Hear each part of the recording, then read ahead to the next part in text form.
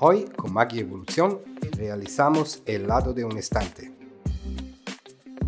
Primero, midamos el tamaño de la pieza. Gracias al software completo e intuitivo de la máquina, programamos el trabajo a realizar.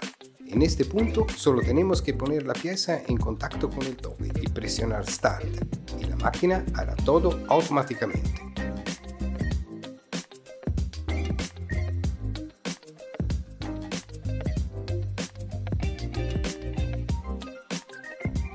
voilà, la pieza está pronta.